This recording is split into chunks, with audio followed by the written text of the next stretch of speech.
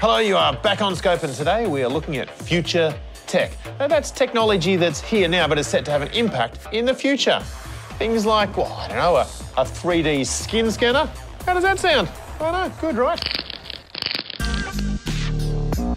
We all know we have to slip, slop, slap and do our best to avoid the sun's harmful rays. But we also need to make sure that we are checking our skin regularly to keep our eyes open for potential skin cancers.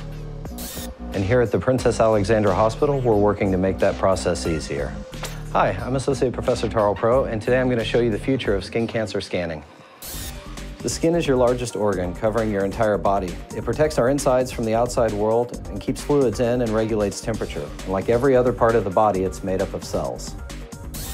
Skin cancer occurs when abnormal cells grow on the surface of the skin, and that can be brought on by overexposure to the sun's rays.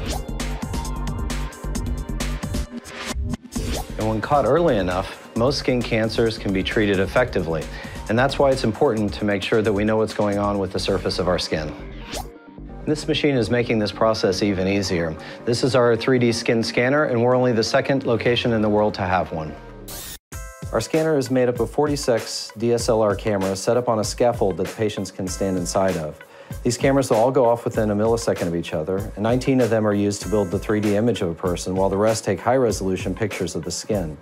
The software stitches together the images to form an avatar which has amazing detail. So the way that works is each of these cameras are connected to a network router, and so the data is transmitted from the cameras to the router and then to the computer for processing. Once we have the avatar made, we can zoom in and have a look at any moles that we think might be suspicious. And when you come back in, we can take the images again and compare to see if there are any growth or changes in the moles. And the best part for the patients is that they only have to be in the device for a few seconds and the likelihood of unnecessary excisions is lower. Now this is a prototype version, but we're going to get the updated commercial version next year for patients. Hopefully this new technology can improve the way that we detect and treat skin cancers, making it easier and ultimately saving lives.